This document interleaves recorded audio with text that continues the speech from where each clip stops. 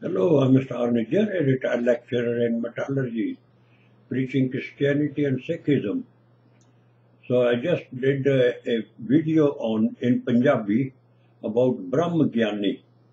Brahma mean uh, Yahweh. This uh, whatever you see with two naked eye is all belong to Yahweh. And in Punjabi we call it Brahma. And in Arabic they call it Khuda. And uh, Kudrat means nature. Nature at large is all belonging to Yahweh, Brahma, Khuda.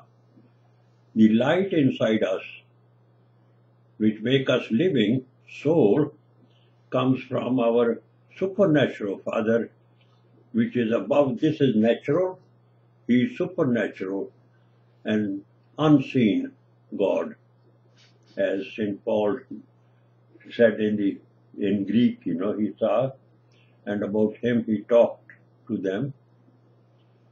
And that unseen God is our supernatural Father, Elohim, Allah, Parbrahm, etc.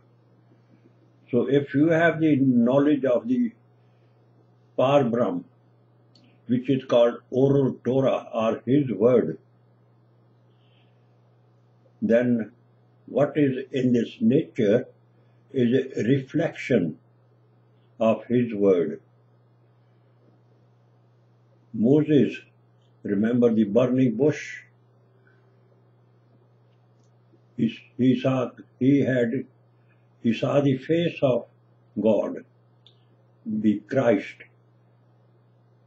Christ brought fire, and that fire is to bake our faith in God.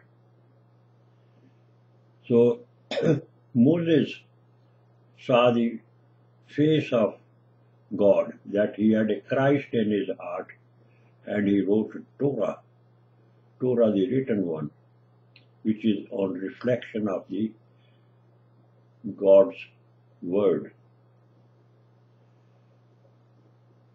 So those people who are have Christ in their heart and they are called Brahmagyani are people who are knowledgeable of the kingdom of heaven that belong to Yahweh. The royal kingdom of God belongs to our supernatural Father. And here it is. Uh,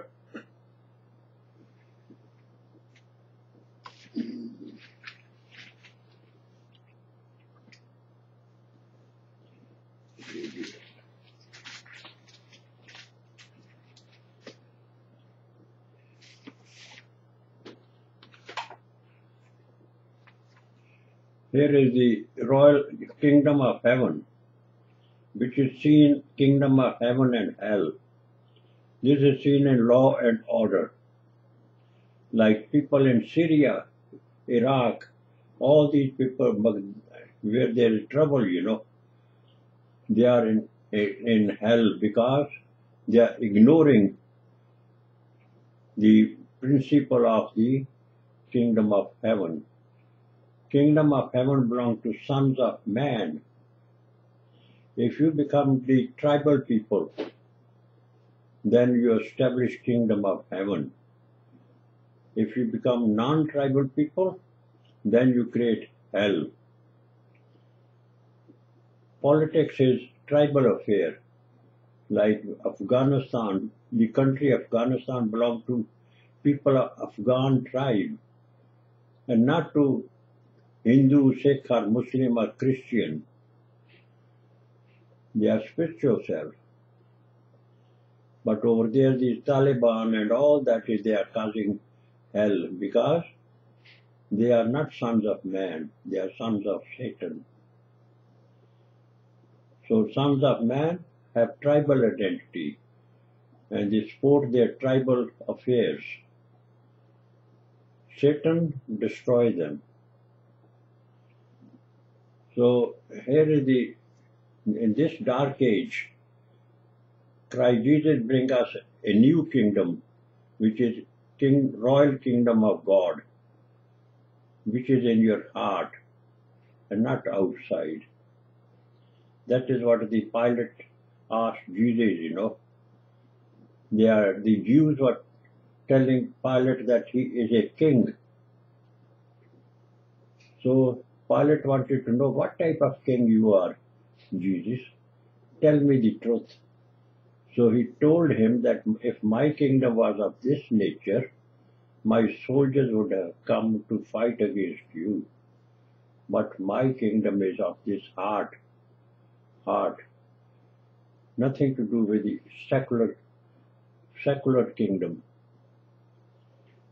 So Pilate understood it. Then he told those shouting people that you are accusing him falsely. He has done nothing wrong to deserve death and penalty because the temple priest they wanted hell. The temple priests they were Satan of the highest order. Al-Jamar al-Aqsa, exploiting people in the name of religion, Gentile and Jews and all that, you know, differences. So they wanted their stooges, they shouted that we want you be the king and not this king, Christ Jesus.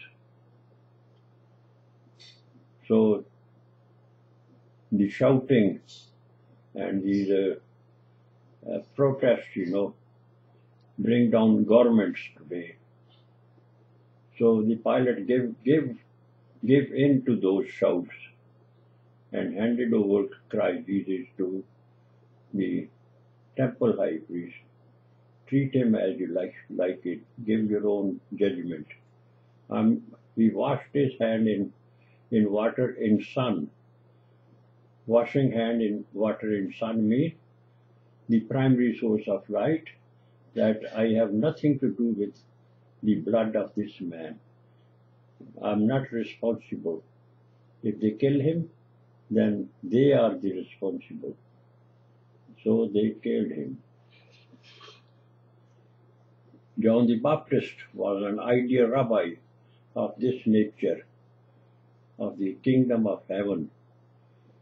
He baptized the Jewish men in water in the name of Abraham, making them sons of Abraham so that they can live in peace. But the temple priest wanted Jew outwardly. If you become Jew outwardly, then you break your covenant with Abraham because Abraham was not a Jew outwardly. Jew is the spiritual self, not the physical self. So here is the uh, here's Adam. Under Adam you have races. Under races you have tribes and so and so. No mention of Jew, Hindu, Sikh or Muslim or Christian because that is inwardly. This is outwardly. And this is inwardly. So a Jew is one who who is inwardly, not outwardly, St. Paul has stressed. So this is the spiritual self, Jew. Never born, never die. Born and die in Adam. So not a single Jew died during the Holocaust. But these people who shout, you know, that four million Jew died, and you can see how many people think that a Jew is self, not a single Jew died, very few.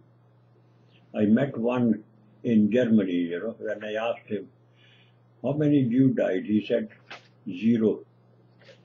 I said, how the hell you know the answer? He said, it's a spiritual self. So he had the knowledge. But he, he was not prepared to preach gospel because he was working and he's uh, in a hotel maybe owned by a Jew or something, so he will be sacked. So this is the thing, you know. This is the John the Baptist, a reflection to the light. So this is the Christ. John the Baptist had Christ in his heart. the light. This is a God, Elohim Allah Parbrahm. So he had the light of God inside his heart, and then he taught them the scripture. And in Christ Jesus, here it is, we are saint, and here they are angel. So John the Baptist was an angel, not a saint. Uh, you know, the Stephen, the first administrator of the Church of God, he was angel, not a saint. So saints are those who are roving preachers. They go around. The one who is stationary in the churches, they are in their moral teachers. They are preparing the way for saint saint to deliver the sermon. So that's why these 70 outer circle laborers here, they were going ahead of Jesus in pairs too, as James and John went to a Samaritan village when Jesus was going to Jerusalem. And they were already sons of Abraham, faithful to Abraham, faithful to Yahweh. And they told James and John, hey, we don't need the baptism of baptism of John because we are already faithful to Abraham and to Yahweh. But they could not understand. So they came to Jesus, put that village on fire as Elijah did. Elijah means, this is Elijah, Prophet Elijah. And Elijah means my God is Yahweh. So here we are saints. So such such uh, graphs, you know, help you to understand the gospel from the very root. So a person who has the light of our supernatural Father in his heart, he knows the truth, secular truth, and that is called Brahmajnani, or as Moses was and John the Baptist was. John the Baptist was a Brahmajnani, an ideal rabbi is a is a Brahmajnani. Ideal rabbi is defined by Jesus in Matthew 13 verse 52. He is the owner of a house, synagogue, who bringeth forth three years old the scriptures which is written, and the new, the oral Torah, which is the light of our supernatural Father. Uh, he has Christ in his heart. So that's what I say here written. No Christ in your heart, no gospel but dead letters. Christianity is of heart and not of this dead Bible. It's forbidden. Bible is forbidden by Christ Jesus. The letters, they are milk, milk for the babies. When you start anything, you know, you first read the books and you get some basic knowledge. Uh, you are on the milk. And when you start inquiring why this is so written, uh, why the name of Jesus is Yeshua, then you have to develop teeth of logical reasoning. That is called twice born. So this knowledge is for the twice born people. Once born people can only read books as in the university they do. They get PhD, doctorate of this and that based on the letters. They have no spirit. I go to Oxford University and ask them, you know, the simple question. John the Baptist said, I'm baptizing in water. One coming after me will baptize in Holy Spirit. Tell me then, who's, in whose name John baptized the Jewish men in water? He never baptized a woman, a Gentile, or a Samaritan. Only the Jewish men. They have no answer. I have the answer. I want to tell them. I give them my uh, my this this my exposition. Well done in the chart, chart, you know. I give them this one, but they are not interested. They are dead in letters. They have no Holy Spirit. So I'm a retired lecturer in metallurgy, metal. My father also used to be a, BSc, Bachelor of Science, not a theologian, but he did the research and he left that traces for me. So I'm much obliged. And so you need a spark or a power to think some puzzle for you. So when you start solving these puzzles, then you are will get the knowledge of this secular world. That's why Jesus delivered the gospel in parables.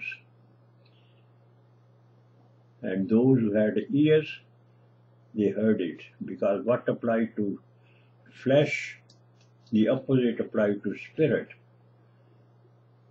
That's what happened in the Matthew 19 marriage, parable of marriage and divorce. These Pharisees, Sadducees, they was dealing with flesh. They said when two persons, one male and female, they marry together and can we give them divorce as we like it? Then Jesus no, gave the spiritual marriage in which the soul is the man and flesh is the wife. And that marriage takes place on conception of a baby inside the womb of the woman. You can't see. So when they are joined together, soul plus flesh, they make one person, not two. So he gave the a very interesting very interesting instruction in that Matthew 19. And I have given the exposition of Matthew 19 in many times to make it sure that you get the concept clearly.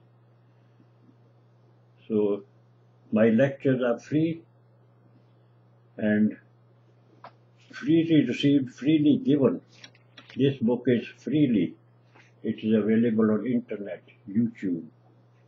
And there is the menorah, which is outline the whole concept of Christianity.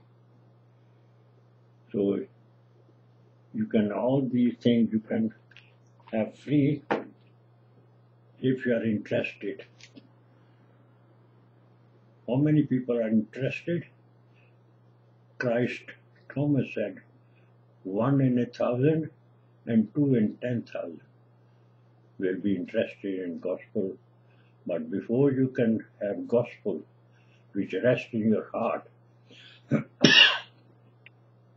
your heart must be clean of hypocrisy. Your heart must be like little child who is unbiased and no hypocrisy in a child.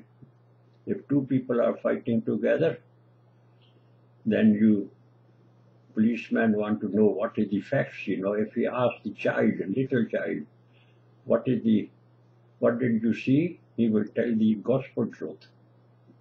Whereas those people who are fighting, they will tell you lies to defend each other. So, very interesting gospel. It's, it's all here. If, once you start and start thinking in here, you'll get it. You can read books. They will, this man say this thing, that man say that thing. They are all, you will find them. They are all the dead men of letters of the universities, which, which misguide you rather than guide you. So they will confuse you and you will be confused. And that's why Jesus said, when the old wine, which is the dead letters of the university professors write the books. You cannot mix with the new wine, it will cause confusion. So you will be confused what I say and what the other people say. So I preach gospel with authority because I my gospel is based on Christ inside my heart. This is the temple of God. If God lives inside, if you are not cheating people, if you are not dishonest, then God is. If you are dishonest, cheating people, Satan is here, God is out. Then you will just do what these Mammon people are doing, God, dog collar church, dog collar priest in the churches. They are the hireling dog collar priest working for Mammon. They are not men of God. So they will take you to the kingdom of Mammon and not to the royal kingdom of God.